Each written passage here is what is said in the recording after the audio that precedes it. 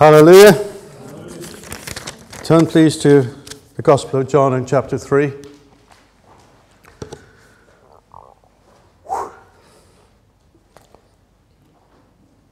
God is good.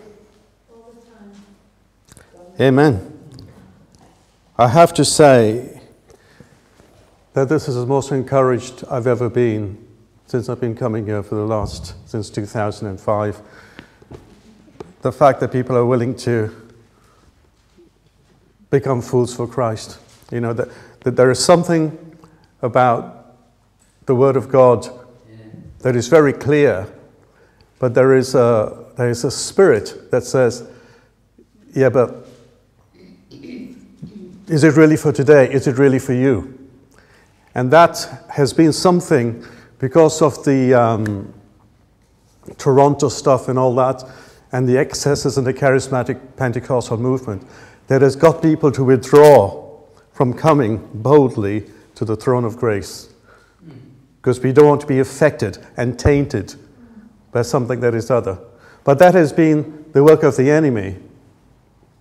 Because Jesus Christ is the same yesterday, today, and forever. If he saves today, and he saved in the apostolic times, if he healed in apostolic times, he heals today.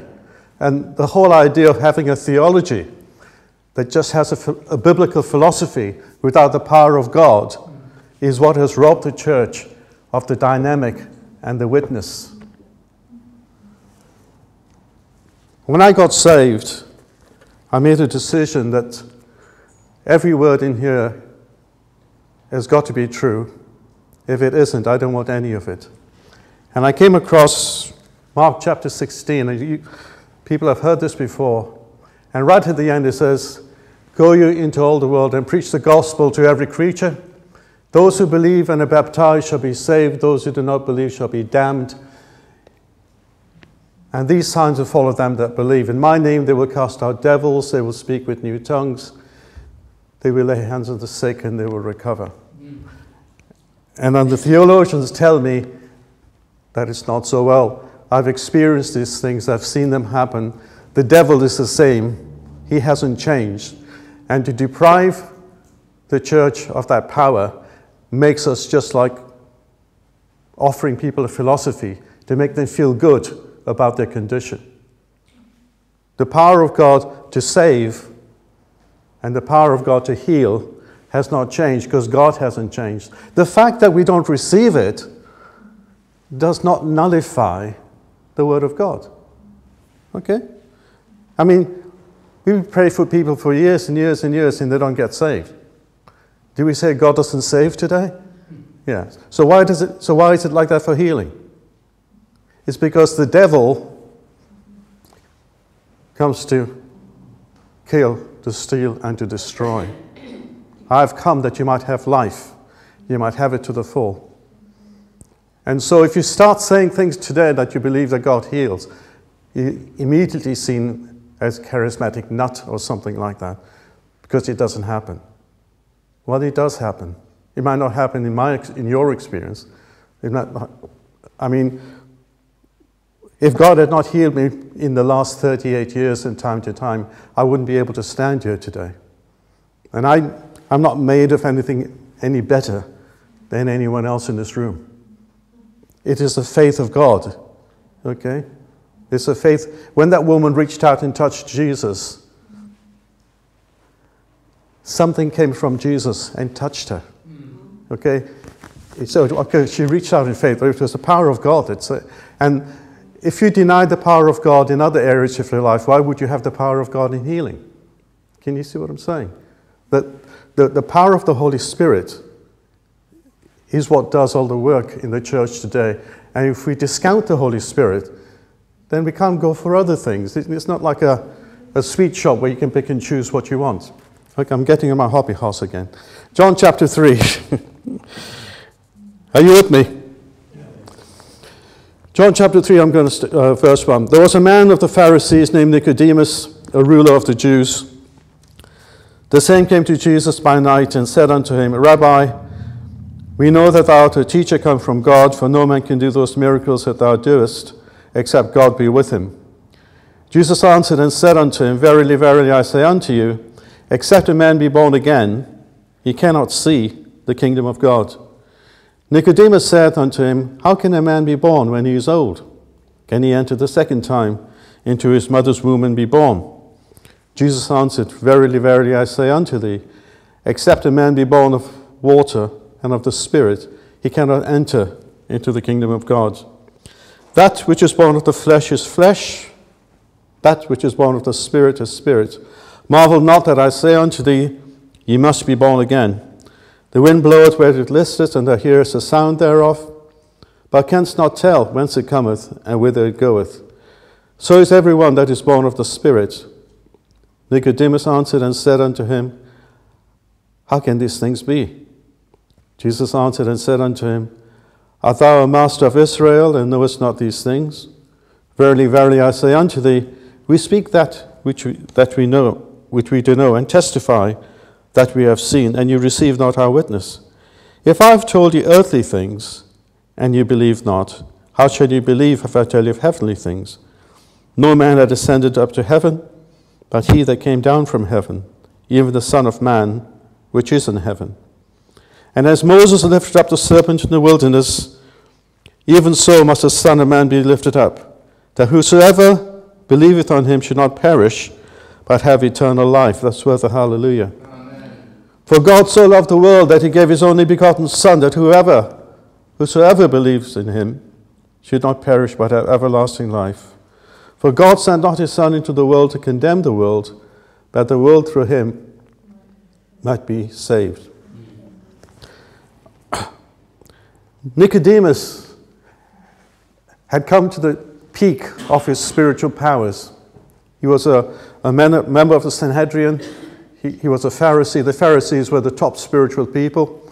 They fasted twice a week. They thanked God they weren't like other people.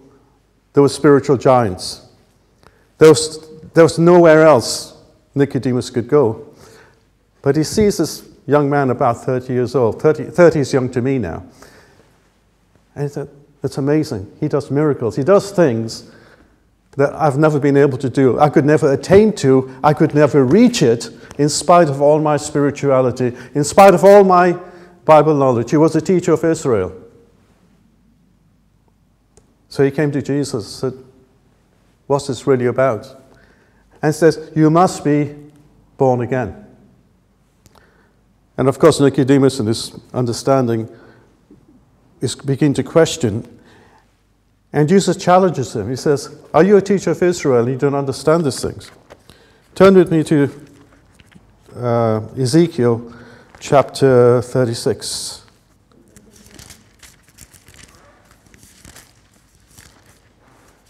Are you still with me? Ezekiel chapter 36. And again, this is the prophet, and he's speaking to Israel, Israel and Judah. And he's saying, I will take you from among the heathen and gather you out of all countries and will bring you into your own land. I will sp- sprinkle clean water upon you, and you shall be clean from all your filthiness and from all your idols will I cleanse you. A new heart also will I give you, and a new spirit will I put within you. And I will take away the stony heart out of your flesh, and I will give you a heart of flesh. And I will put my spirit within you, and cause you to walk in my statutes, and you shall keep my judgments and do them. Okay? This is a promise that he made to Israel that he was going to cleanse them and put his spirit within them. And Nicodemus should be able to understand this, but obviously the Pharisees were caught up in their own idea of the Messiah. And the issue of being born again is, is, that we receive forgiveness of sins, and then we have this Spirit, which is the Spirit of God that comes to dwell within us. It cannot happen by our striving, it cannot happen by anything else except God's sovereign will. That from the beginning of the world, before He said, Light be, He saw you and you and you and me. and he made a decision. And he sent his son way before he was born in Bethlehem. It was in the mind of God. Redemption was in the mind of God before the fall. Redemption didn't come as God, oh dear, look what Adam's done. I've got to do something. Jesus was not plan B. Jesus was plan A. Okay? Had Adam not sinned, his children would have done. Sin would have come into the world because that's what's in the nature of man. It's in the nature of man because had there not been the devil on the earth to question God's authority, Adam would have been fine. Has God said, I forgive all your sins and heal all your diseases? Has God said, You shall not eat of that fruit? If he said that, he's got an ulterior motive. He doesn't want you to be like him. And that's a lie, isn't it? Because through the redemption in the blood, the forgiveness of sins, we have been partakers of the divine nature. He has called us into sonship. It's something that the children of Israel didn't have. They were a chosen people, a chosen nation. But through the new birth, He brought us into a reality of heavenly places. God is actually sharing His divine, his divine nature. We are not what we used to be. Okay? So He then gives us a wisdom that's from another place. He gives us a power that's from another place we cannot attain to, we cannot work it up. Religion is always trying to work things up. Salvation is a free gift. Mm. The surrogate heal is a free gift. You get healed, it's a free gift. You get saved, it was a free gift. Because God chose to bless. And we have to have a mind about how God, how God is towards his people. And I grew up in religion, so I always had about, I always had this view of that I have to be good enough to receive things from God. I've quit on that because I'll never be good enough. We can never merit the things that God has for us. The reason we don't receive very often is not because of necessarily because of sin in our lives is because we have an adversary. You know, sometimes I forget to have an adversary. I always think it's me.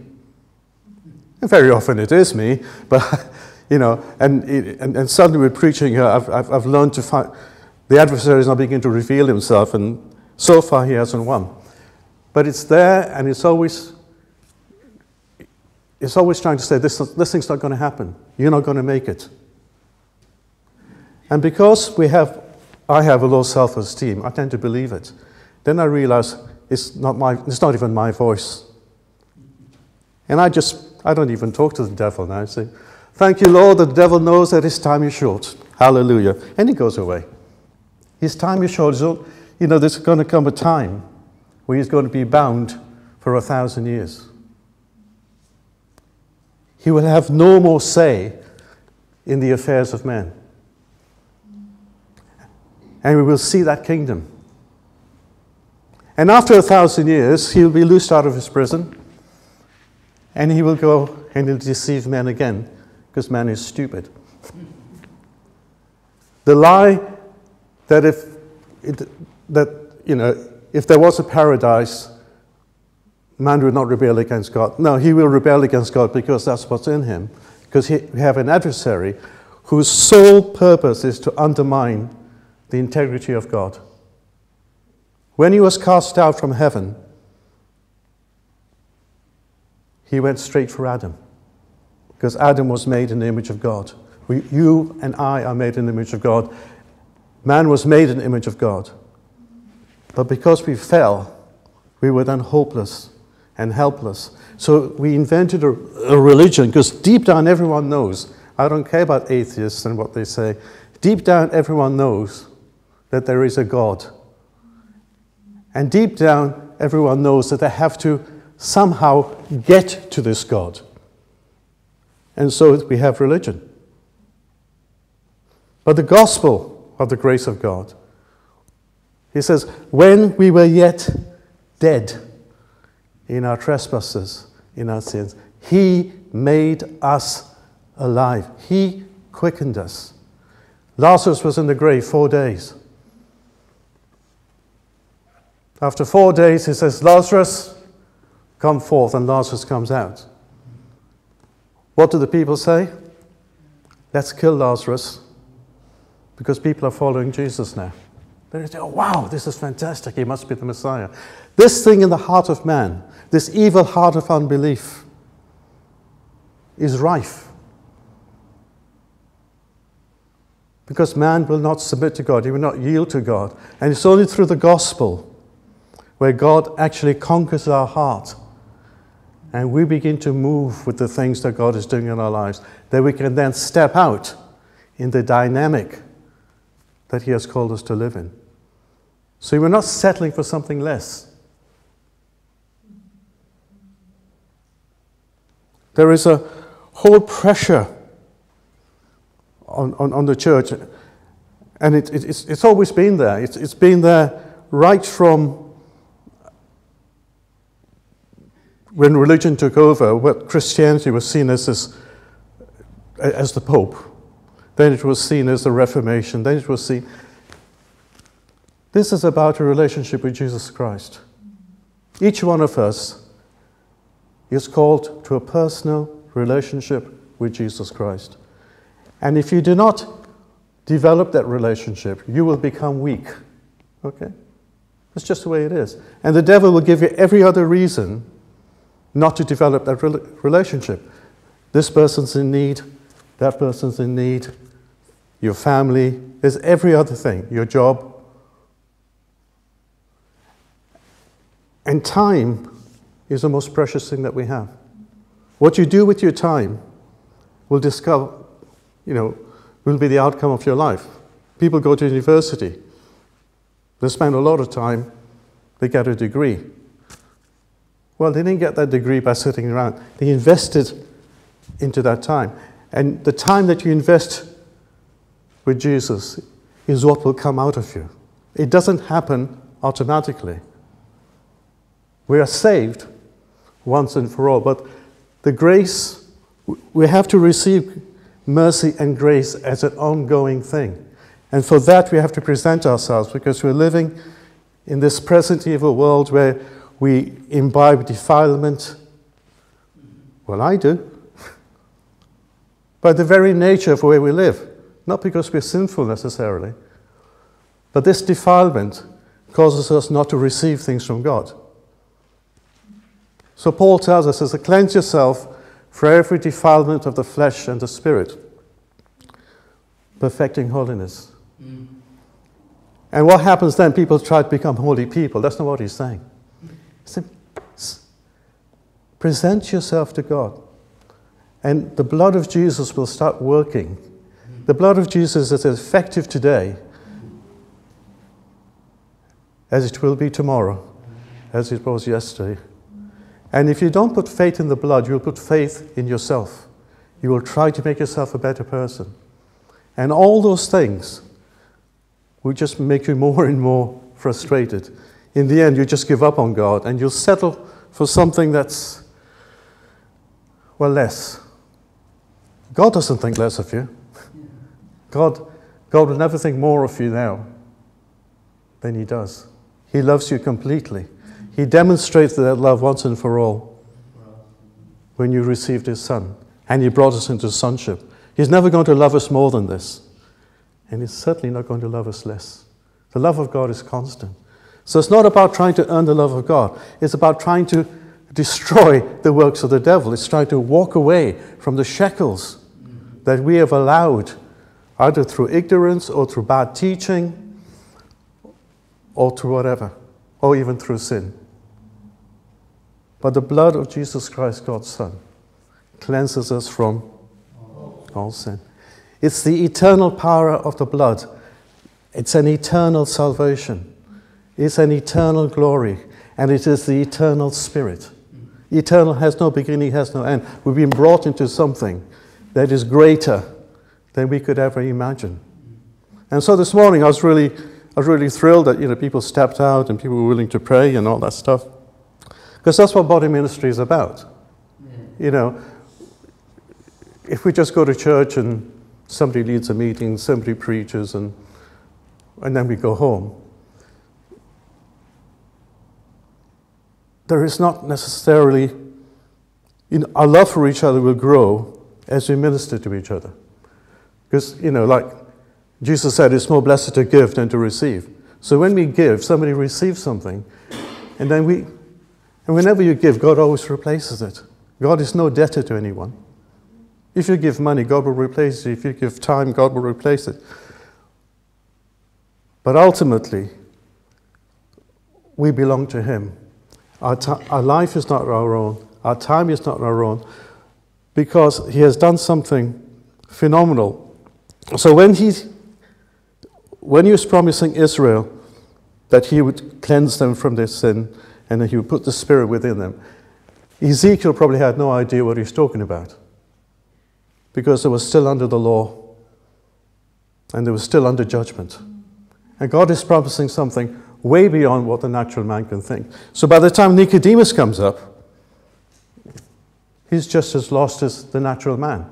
You talk to the natural man in the street and you say, You must be born again. He's not going to understand any more than anything else. You, you spoke to me before I was saved about being born again. I wouldn't know what you're talking about. I only understand a new birth because I have been born again. I only understand the power of the Spirit because uh, I've received the power of the Spirit and I've seen the demonstration of it. I, I cannot work it out. I cannot convince somebody who is dead in their trespasses or somebody who, who wants to live a Christian life in their own strength that they need the power of God. I need the power of God. I thank God that I had nothing to offer when I got saved. So I needed everything God had for me. You know.